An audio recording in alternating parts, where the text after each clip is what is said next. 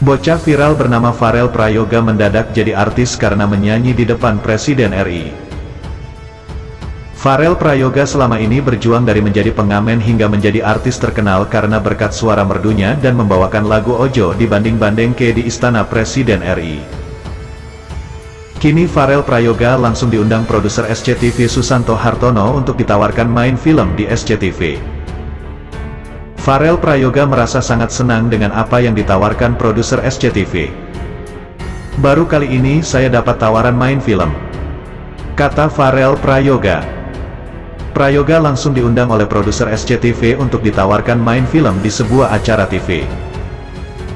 Dalam video tersebut, produser SCTV menanyai Farel Prayoga tentang puasanya dan salat tarawihnya apakah lancar. Farel juga bercerita kalau belum pernah sebahagia ini di bulan Ramadan. Baru sekarang ini, ungkap Farel Prayoga.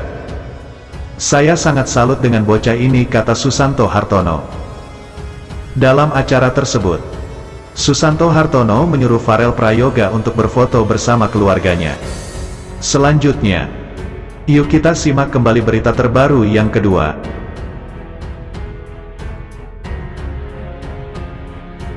Merdunya suara Farel Prayoga melantunkan kiroah di acara di Aksi Indonesia bikin semua juri menangis. Bocah Farel Prayoga yang juga dikenal dengan sapaan Farel menggelar acara Aksi Indonesia bersama semua juri. Di acara kiroah di Aksi Indonesia, Farel Prayoga juga ikut mengaji bersama Ustadz Subki di Aksi Indonesia yang tayang di Indosiar. Farel Prayoga melantunkan kiroah dengan mantap. Ia melantunkan kiroa dengan sangat merdu. Farel Prayoga tampak mengenakan pakaian warna biru di acara pengajian di acara Aksi Indonesia. Dia duduk di antara host Aksi Indonesia, Irfan Hakim dan Ramsi. Lesti mengikuti acara pengajian dengan penuh kehusyukan. Semoga kita diberikan kesehatan. Saya mendengar suara Farel Prayoga saya terharu hingga meneteskan air mata, ungkap Ustadz Suki. Acara pengajian digelar pada jam 2 saat sahur. Saksikan Akademi Sahur Indonesia Aksi 2023 tayang perdana Senin dini hari ini. Jangan lupa jam tayang di Indosiar mulai pukul 2 waktu Indonesia Barat spesial selama Ramadan.